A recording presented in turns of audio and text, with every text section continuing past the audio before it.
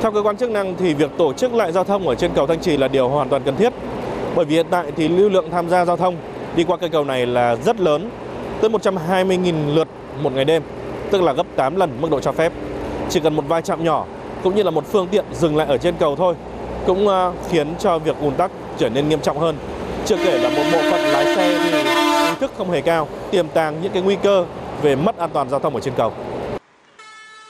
Theo thống kê của Phòng Cảnh sát Giao thông Công an thành phố Hà Nội thì chỉ tính từ đầu năm 2015 cho đến tháng 10 năm ngoái, trên cầu Thanh Trì đã xảy ra 69 vụ tai nạn giao thông, làm chết 21 người, bị thương 35 người. Sở Giao thông thành phố Hà Nội yêu cầu ban duy tu các công trình hạ tầng giao thông thay thế biển báo hạn chế tốc độ và lắp đặt biển báo hướng dẫn giao thông giảm từ 80 km/h xuống 60 km/h tại các điểm cách hai cầu Thanh Trì là 500 m.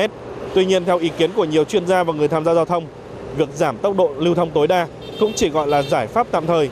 Vì thực tế để lái được với tốc độ 80 km/h trên cầu Thanh Trì cũng là điều khó khăn. Khi mật độ phương tiện lưu thông trên đường vành đai 3 vào khoảng 5.000 lượt xe một giờ, cao gấp 2,5 lần so với lưu lượng tiêu chuẩn. Chưa kể tuyến đường này thường xung đột các điểm lên cầu như nút giao Trung Hòa Nguyễn Trãi, nhiều xe tải trọng lớn, xe khách đi vào giờ cao điểm rồi xuống các nút giao không tuân thủ làn đường, đón trả khách cũng là nguyên nhân khiến đường vành đai 3 ùn tắc và thường xuyên xảy ra tai nạn giao thông.